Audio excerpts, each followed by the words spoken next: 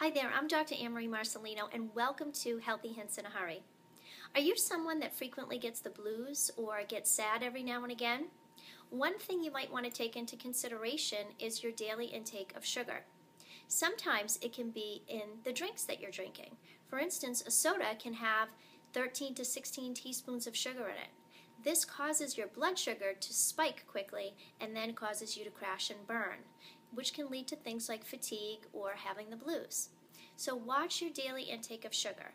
You might be replacing nutrient dense foods that you should be having for your body to repair, regenerate, and grow and to feed your brain with things that are not nutrient dense and empty calories, which are your sugar containing foods. So check that out. You may feel better. Have a great day, and remember health is a choice. Choose to be alive and well.